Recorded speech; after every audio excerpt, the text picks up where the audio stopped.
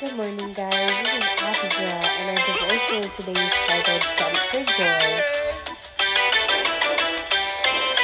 Looking out,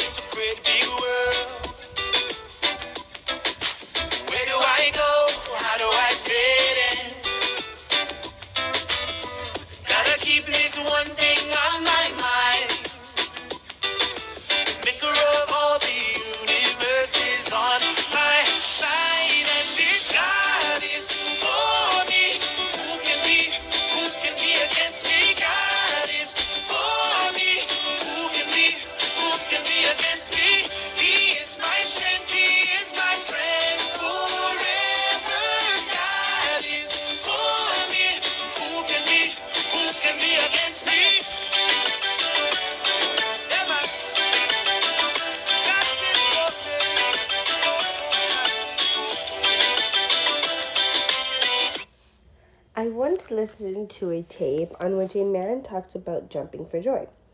Literally, no matter what happened, if he bumped his head on a doorway, he jumped for joy.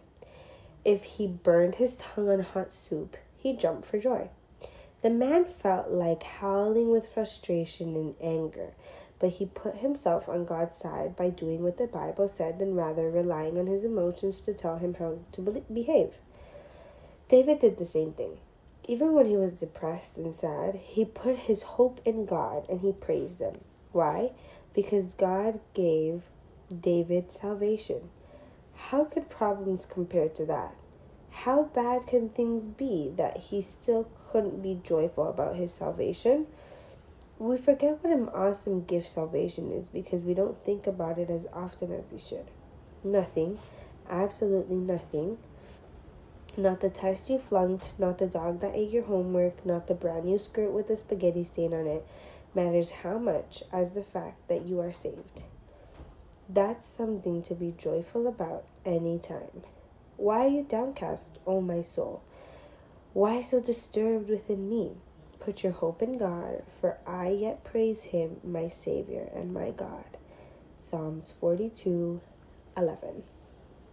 Any day that we're having a bad day, a sad day, a stressful day, a day full of emotions, let us always remember that besides all of those things that we feel, we must rejoice in the salvation that God has done for us. He saved you and me so long ago, and He still does it to this day.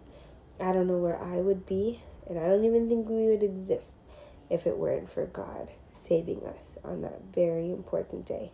May God bless you today. Smile for someone else just so they can feel precious joy today.